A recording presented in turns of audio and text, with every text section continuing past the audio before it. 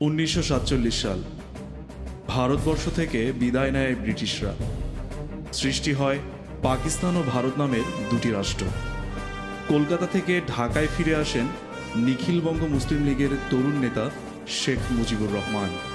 ঢাকায় ফিরেই শেখ মুজিবুর রহমানের মোহভঙ্গ ঘটতে শুরু করে নতুন রাষ্ট্র পাকিস্তানকে নিয়ে। পাকিস্তানের শাসক গোষ্ঠী বাঙালির মায়ের ভাষা বাংলা ভাষাকে কেড়ে নিতে চায়।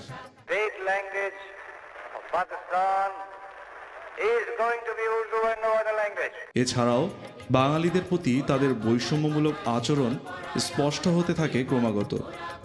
মায়ের ভাষা রক্ষার লড়াইয়ের নতুন চিন্তায় যুক্ত হয় সিরাজগঞ্জবাসী। ঢাকায় ভাষা রক্ষার লড়াইয়ে সামিল হয়ে সিরাজগঞ্জের সন্তান, ভাষা সৈনিক আব্দুল মতিন ভাষা মতিন হিসেবে খ্যাতিমান হয়ে ওঠেন। সিরাজগঞ্জের ভাষা আন্দোলনকে সংগঠিত করতে মাঠে নামেন তরুণ ছাত্রনেতা সাইফুল ইসলাম, নজরুল ইসলাম খান ও মীর আবুল হোসেন। তারা সংগঠিত করেন তরুণদের, গড়ে তোলেন দুর্বার আন্দোলন।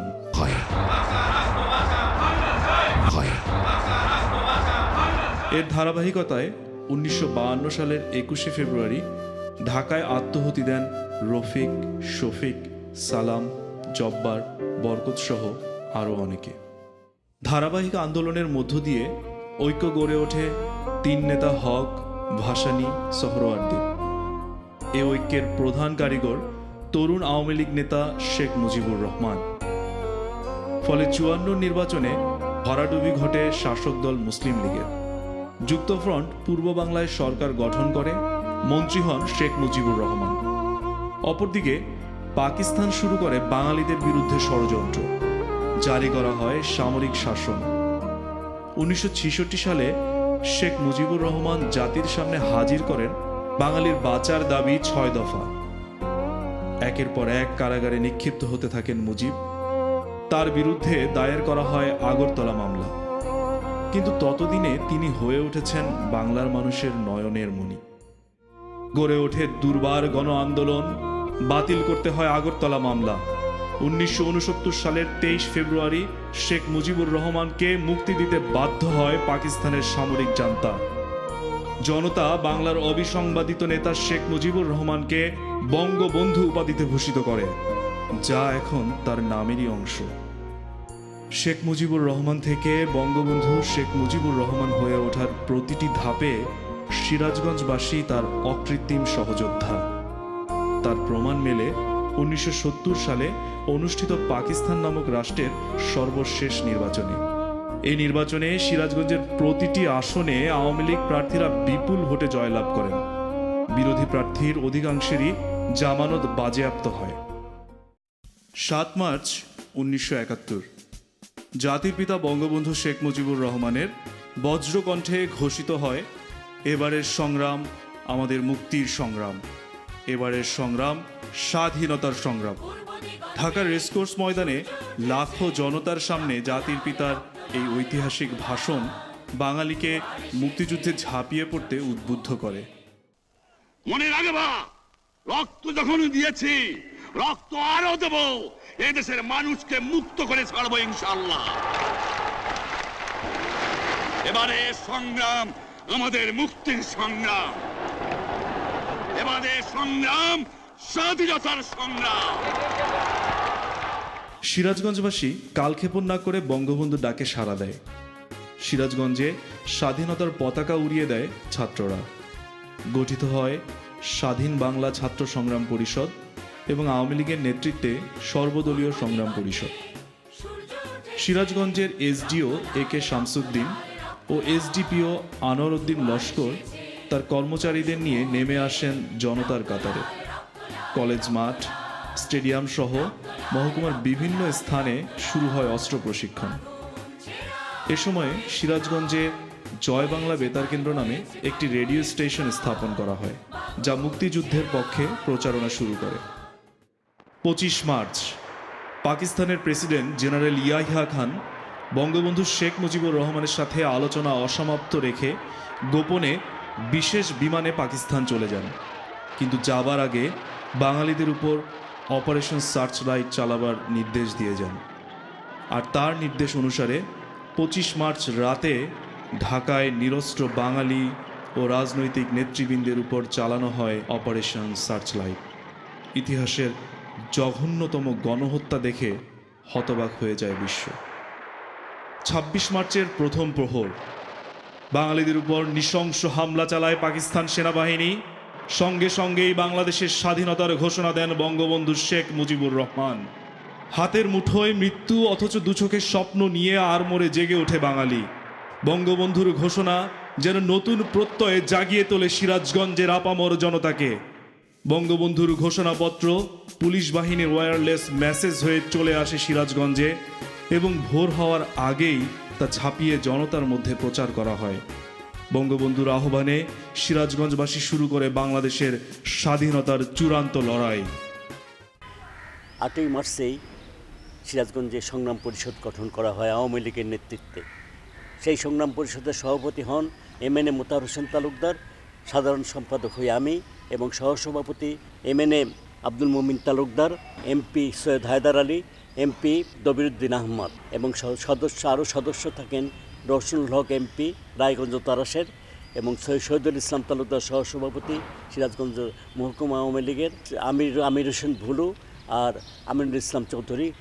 পঁচিশে মার্চ হঠাৎ করে রাত চারটার সময়, চারটা, সাড়ে চারটা কি পাঁচটার দিকে আমি ঘুমিয়েছিলাম টেবিলের উপরে। এই সময়ে আঙ্গুন নামে একজন টেলিগ্রাম মেসেঞ্জার, সে যায় ডেকে তুলল আমাকে, ভাই ভাই ভাই, ওঠেন। আমার হাতে কাগজ দিল, তাতে লেখা আছে, বঙ্গবন্ধু লিখছেন, যে Pak army has attack Rajarbagh police station and Pilkhana EPR base বঙ্গবন্ধুর ওই মেসেজটি আমরা ভোরবেলা আমাদের কাছে এসে পৌঁছায়। সে আমরা সেই মেসেজটি নিয়ে আমি সঙ্গে সঙ্গে একটা মিটিং ডাকি, প্রত্যেককে ডেকে পাঠাই তারা আসেন, তাদের সঙ্গে বসে আমরা আমাদের প্রস্তুতি শুরু করে দেই। আরও জোরে সোরে আমাদের বিএ কলেজ মাঠে ছাত্র সংগ্রাম পরিষদ এবং আইএ কলেজ মাঠে আমাদের আওয়ামী লীগ সংগ্রাম পরিষদের একজন পুলিশ অফিসার একজন নায়েব সুবাদার দিয়েছিলেন, তার নেতৃত্বে ট্রেনিং শুরু হয়। সিরাজগঞ্জ মহকুমার বাঘাবাড়িতেই পাক বাহিনীকে ঠেকিয়ে দিতে ছাত্র, তরুণ, ইবি, ইপিআর, পুলিশ, আনসার সদস্যদের মিশ্রণে গড়ে ওঠে মুক্তিবাহিনী। কিন্তু অস্ত্র, গোলাবারুদের স্বল্পতায় পঁচিশ এপ্রিলে মুক্তিযোদ্ধারা বাঘাবাড়ি থেকে নিজেদের প্রত্যাহার করে উল্লাপাড়ার ঘাটিনা রেল সেতুতে। প্রতিরোধের উদ্যোগ নেয় তারা। প্রথম দফায় উদ্যোগ সফল হয়, কিন্তু দ্বিতীয় দফায় ট্রেন যোগে ঘাটিনা রেল সেতু পার হয় পাক সেনারা। পিছিয়ে সিরাজগঞ্জ শহরে চলে আসে মুক্তিযোদ্ধারা। তাদের শেষ গ্রুপটি সিরাজগঞ্জ শহর ত্যাগ করে ছাব্বিশ এপ্রিল গভীর রাতে। পাক সেনারা সাতাশ এপ্রিল ভোর রাত চারটার দিকে বাহিরগোলা রেল স্টেশনে নামে। শুরু করে গণহত্যা, নির্যাতন, নারী ধর্ষণ, অগ্নিসংযোগ। তারা দীর্ঘ আট মাস সিরাজগঞ্জবাসীর উপর পৈশাচিক নির্যাতন চালায়। এপ্রিল চব্বিশ তারিখ, আমরা এখানে অবস্থান নেই। পঁচিশ তারিখে একটা ট্রেন উল্লাপাড়াতে এসে থামে এবং ওখান থেকে কিছু আর্মি হেঁটে এই ব্রিজ দেখার জন্য আসে। তখন আমাদের বাহিনী এবং লুৎফর রহমান, অরুণ এবং লতিফ মির্জার নেতৃত্বে ওদের উপর আক্রমণ চালায়। পঁচিশ তারিখ রাত্রিতে ওরা পুনরায় শক্তি বৃদ্ধি করে আমাদের উপরে আক্রমণে আসে এবং আমরা তখন পিছু হটতে বাধ্য হই এবং আমাদের এই বাহিনী সিরাজগঞ্জের দিকে অগ্রসর হন এবং রাত্রি এগারোটা বারোটার দিকে পাক বাহিনী সিরাজগঞ্জ পৌঁছে যায় এবং জ্বালাও পোড়া করে সমস্ত সিরাজগঞ্জ শহরকে পুরো পুরায় সারখার করে দেয়। অপরদিকে সতেরোই এপ্রিল মুজিবনগরে গঠন করা হয় গণপ্রজাতন্ত্রী বাংলাদেশের অস্থায়ী সরকার। তাতে যুক্ত হন সিরাজগঞ্জের কৃতি সন্তান ক্যাপ্টেন এম মনসুর আলী।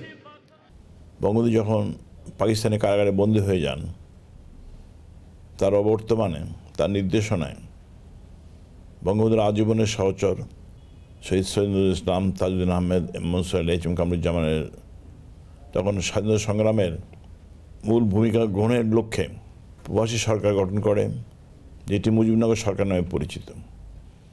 আসলে মুজিবনগর সরকার হচ্ছে প্রথম সরকার বাংলাদেশের স্বাধীনতা সংগ্রামের মেহেরপুরের কাননে শপথ গ্রহণ করার পরে জাতীয় চার নেতার নেতৃত্বে মুজিবনগর সরকারের যাত্রা শুরু হয় এবং সেই সরকারের নেতৃত্বে ভারতীয় প্রধানমন্ত্রী ইন্দিরা গান্ধীর পরিপূর্ণ সহায়তা এবং ভারত সরকারের অকৃত্রিম সহযোগিতার ফলে মুজিবনগর সরকার তার যাত্রা শুরু করে, আপনাদের মনে আছে?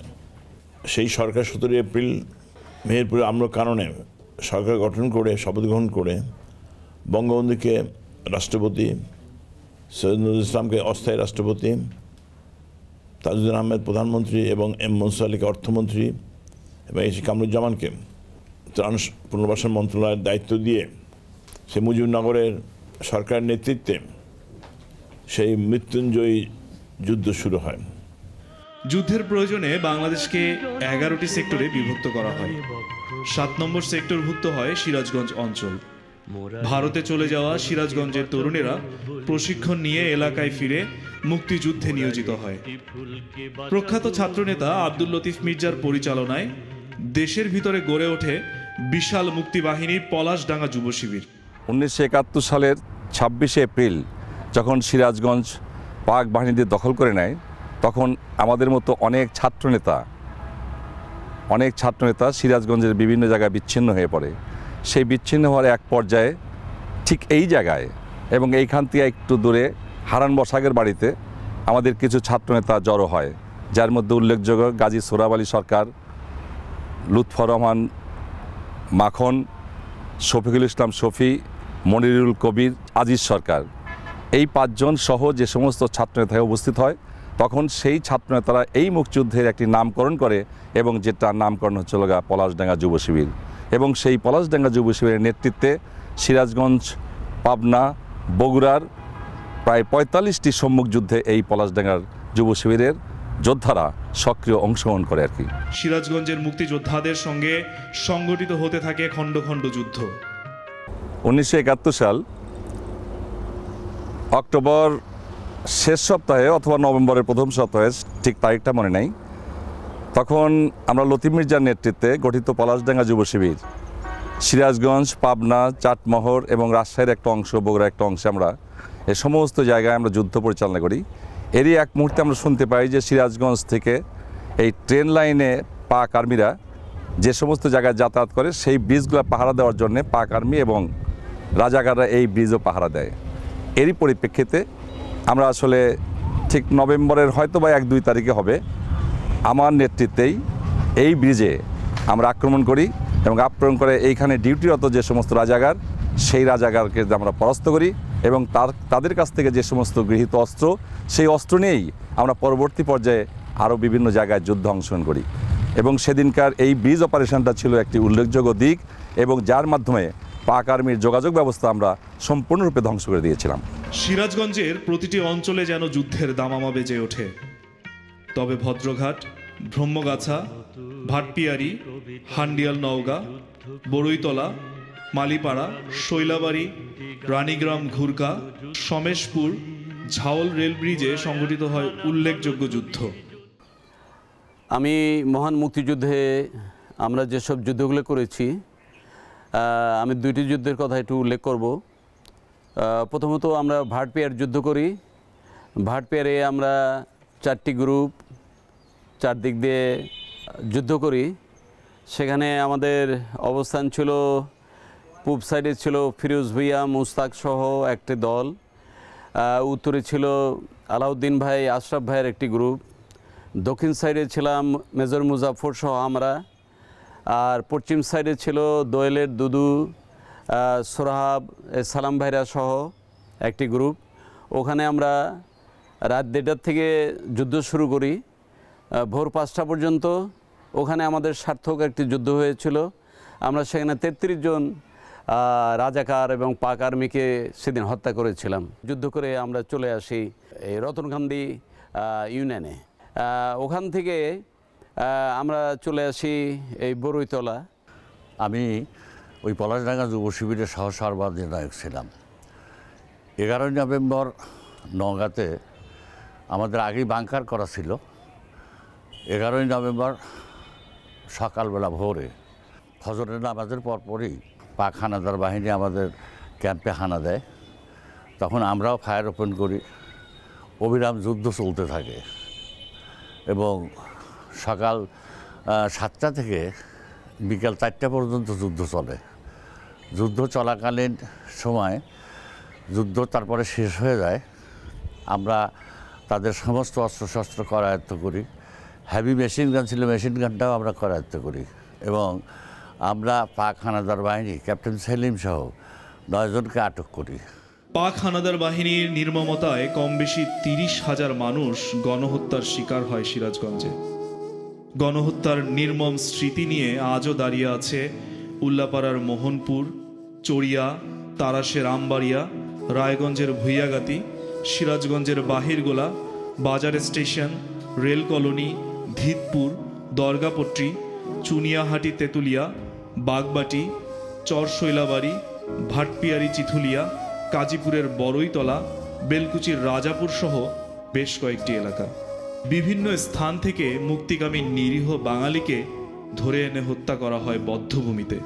এসব বদ্ধভূমির মধ্যে শহরের পুরাতন জেলখানাঘাট, কালীবাড়ি ওয়াবদা অফিস মারোয়ারিপট্টির রেজিস্ট্রি অফিস, ভিক্টোরিয়া স্কুল দুঃসহ স্মৃতি নিয়ে সিরাজগঞ্জবাসীর কাছে আজও অম্লান হয়ে আছে।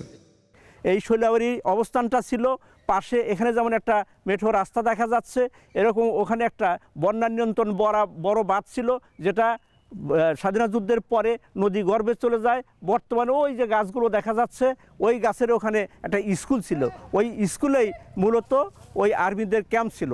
সেই ক্যাম্পে আমরা ওই এক পশ্চিম সাইড দিয়ে, পশ্চিম দক্ষিণ সাইড দিয়ে মেঠো একটা রাস্তা ছিল। সেই রাস্তার পাশে ওই ইসমাইল সাহেব লোকাল রহমতগঞ্জ, ওনারা অবস্থান নেন এবং উত্তর সাইড এবং পূর্ব সাইড আমাদের সংখ্যাটা একটু পরিমাণ বেশি ছিল। সেহেতু আমরা এই দুইটা সাইড কভার করি এবং পূর্ব সাইড দিয়ে বাদের পূর্ব পাশে ওই ম্যাছরাও দিক থেকে আরেকটা ছোট্ট গ্রুপ ছিল আমাদের। নায়েব আলী নামে এক কমান্ডার ছিল, সুজার নাম ছিল। এরা মিলা পূর্ব সাইডটা কভার করে। সেই সব একসঙ্গে ফায়ার করে একটার সময় আমরা যুদ্ধটা আগ্রহ আক্রমণটা শুরু করি এবং সারা বেলা যুদ্ধের পর আমাদের পাশের থেকে আমাদের দুই সাথী শহীদ হন। একজনের নাম আব্দুল সামাদ একজনের নাম আসান হাবিব। এরা দুজনের মৃত্যুর পর আমরা রাত্রি নয়টা, সাড়ে নয়টা পর্যন্ত একাধারে যুদ্ধ চালাই। দশই সেপ্টেম্বর বরিতলা গ্রামে। তখন আমি আমার নিজের বাড়ি থেকে অবস্থান করছিলাম। সেখান থেকে যুদ্ধে যখন শোনা গেল যে পাকিস্তানের বাহিনীর সাথে আমাদের মুক্তিযোদ্ধাদের ই হয়, তখন আমাদের ছেলেপেলে সহ আমরা দরবল নিয়ে আমরা দক্ষিণ প্রান্ত থেকে আমরা সেখানে সরাসরি দেখেছি ইতিমধ্যে পাক হানাদার বাহিনী সেই বরিতলা গ্রামের গ্রামের উপরে তারা অবস্থান নিয়েছে। ওই এলাকার যারা মুক্তিযোদ্ধারা ছিল, আমার সাথে ছিল। তার মধ্যে একটা হিন্দু ছেলে ছিল, সে আমার পাশেই ছিল। সে কিন্তু একটা গুলিবুদ্ধ অবস্থা হয়, সে ওখানে মৃত্যুবরণ করে। তা আমরা যখন তিন দিক থেকে যখন সেনাবাহিনীতে আক্রান্ত হই, তখন একটা পর্যায়ে আমরা সেখান থেকে ই প্রত্যাহার করে নিই। প্রত্যাহার করে নিয়ে আমরা পিছন দিক থেকে যার যার অবস্থানে আমরা চলে যাই। পরবর্তীতে আমরা আবার কাজীপুরে, আমাদের সেখানকার যে কাজীপুর কমান্ডার ছিল আব্দুল সাত্তারের নেতৃত্বে সেখানে কাজীপুর থানাকে আমরা সরাসরি সেখানে সম্মুখে যুদ্ধে আমরা কাজীপুর থানাকে সেখানে আক্রমণ করি এবং কাজীপুর থানাকে সেখানে আমরা মুক্ত করি। অগাস্ট মাসে যখন দেরাদুন থেকে ট্রেনিং নিয়ে আমাদের মুজফর রহমান মুজাম সাবেক মেজর, তিনি আসলেন, তার নেতৃত্বে আবার নতুন করে আমরা একটি বাহিনী আমরা তৈরি হই, তার নেতৃত্বে আমরা যুদ্ধ শুরু করি। প্রথমেই যুদ্ধটি হয় ভাটপিয়ারি। সেই যুদ্ধে বত্রিশ জন রাজাকার মালয়েশিয়ার আর্মি সহ সেখানে মারা যায় এবং সেই যুদ্ধে আমাদের আমিরুল ইসলাম চৌধুরী আহত হয় এবং মোতালেব নামে একজন মুক্তিযোদ্ধা আহত হয়। ছাব্বিশ নভেম্বরের মালিপাড়া যুদ্ধের মধ্য দিয়ে বিভিন্ন ঘাঁটি ছাড়তে বাধ্য হতে থাকে পাক সেনারা। একে একে মুক্ত হতে থাকে সিরাজগঞ্জের বিভিন্ন অঞ্চল। সর্বশেষ সতেরোই ডিসেম্বর উল্লাপাড়া ও শাহজাদপুর ত্যাগ করে পাক সেনারা। তার আগে চোদ্দই ডিসেম্বর সিরাজগঞ্জ মহকুমা শহর মুক্ত হওয়ায় সেদিনকেই বলা হয় সিরাজগঞ্জ মুক্ত দিবস। ষোলোই ডিসেম্বর বিকেল পাঁচটায় ঢাকার রেসকোর্স ময়দান। যৌথ বাহিনীর কাছে পাকিস্তানের হানাদার বাহিনীর আত্মসমর্পণের এক দুর্লভ মুহূর্ত। চোদ্দই ডিসেম্বর সিরাজগঞ্জ বা ষোলোই ডিসেম্বর সমগ্র বাংলাদেশ মুক্ত হলেও স্বাধীনতা প্রাপ্তির অপূর্ণতা থেকেই যায়। কারণ তখনও জাতির জনক বঙ্গবন্ধু শেখ মুজিবুর রহমান রয়েছেন পাকিস্তানের কারাগারে। ফলে জনগণ, মুক্তিযোদ্ধা সরকার সহ সদ্য স্বাধীন দেশের প্রতিটি ধুলিকণা অধীর আগ্রহে অপেক্ষা করতে থাকে বঙ্গবন্ধুর দেশে ফেরার জন্য। উনিশশো বাহাত্তর সালের আট জানুয়ারি। পাকিস্তানের কারাগার থেকে মুক্তি পান বঙ্গবন্ধু শেখ মুজিবুর রহমান। অতঃপর দশ জানুয়ারি বাঙালির জন্য এক বুক ভালোবাসা, অসীম দরদ আর বিজয়ের আত্মবিশ্বাস নিয়ে প্রিয় জন্মভূমির মাটিতে পা রাখেন বাঙালির প্রিয় নেতা বঙ্গবন্ধু শেখ মুজিবুর রহমান। মুক্তিযুদ্ধের রক্তাক্ত পথ পাড়ি দিয়ে বিজয়ের গৌরবে উদ্ভাসিত রত্নগর্ভা সিরাজগঞ্জ।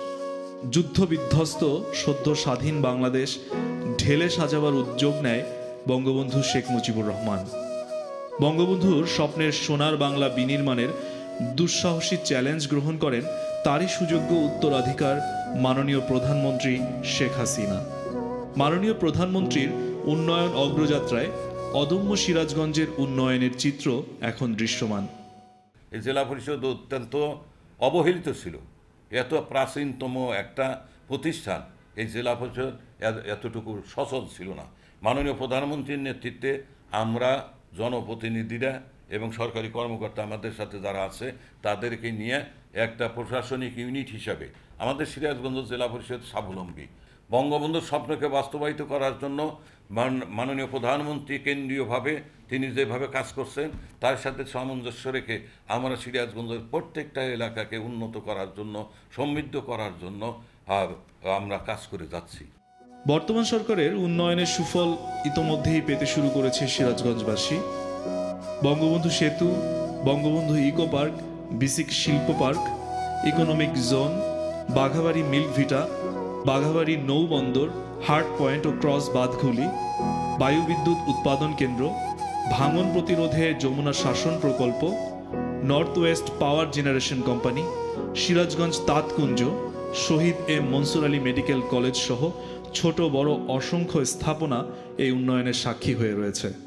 চলমান রয়েছে শিক্ষা, স্বাস্থ্য ও তথ্য প্রযুক্তির উন্নয়ন অগ্রযাত্রা। সর্বকালের সর্বশ্রেষ্ঠ বাঙালি জাতির পিতা বঙ্গবন্ধু শেখ মুজিবুর রহমানের নেতৃত্বে বাংলাদেশ স্বাধীন হয়। পরবর্তীকালে মাননীয় প্রধানমন্ত্রী জননেতা শেখ হাসিনা দায়িত্ব পালনের গ্রহণের পর থেকেই সিরাজগঞ্জে অভূতপূর্ব উন্নতি সাধিত হয়েছে। আপনারা জানেন যে সিরাজগঞ্জে যে উন্নতি হয়েছে সেটুকু হয়েছে মাননীয় প্রধানমন্ত্রী জননেত্রী শেখ হাসিনা ক্ষমতা থাকেনকার সময়। আমরা নদী ভাঙন এলাকার মানুষ নদী ভাঙনে যে মানুষ আজকে আগে বিল্ডিং বা পাকা ঘর করতে সাহস পেত না, সিরাজগঞ্জে এখন ছয় সাততলা বিল্ডিং এটা সম্ভব হয়েছে। নদী ভাঙন রোধ করার জন্য, ক্যাপিটাল রেজিং করার, জমি পুনরুদ্ধার করা এবং সাথে সাথে ক্রসবাদ করার কারণেই। সিরাজগঞ্জে শহীদ মনসুর আলী মেডিকেল কলেজ নামে পাঁচশো শয্যা বিশিষ্ট হাসপাতাল, নার্সিং কলেজ এবং মেডিকেল কলেজ স্থাপন করা হয়েছে। আড়াইশো শয্যা বিশিষ্ট শেখ ফজিলুদ্দিনেসা মুজিব বিশেষায়িত হাসপাতাল সিরাজগঞ্জে হয়েছে এই সময়টিতেই।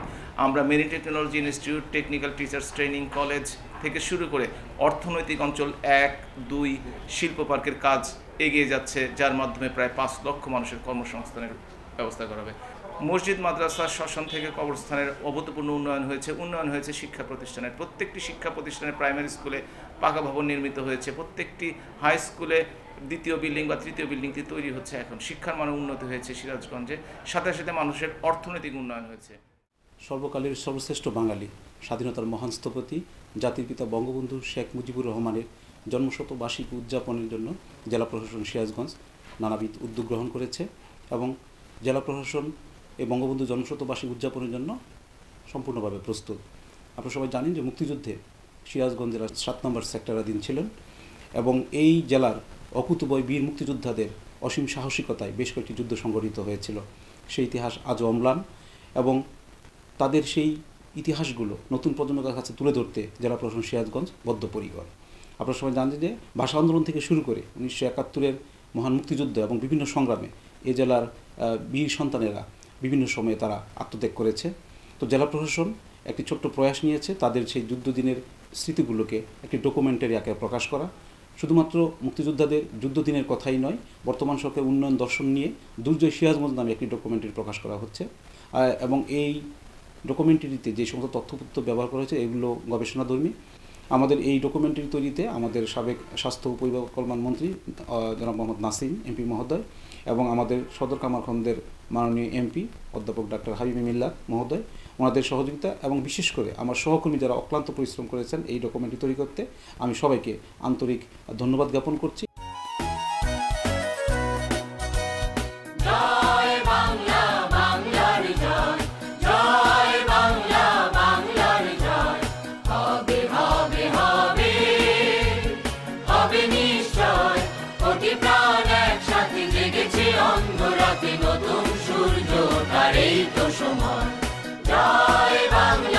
বাংলার জয়।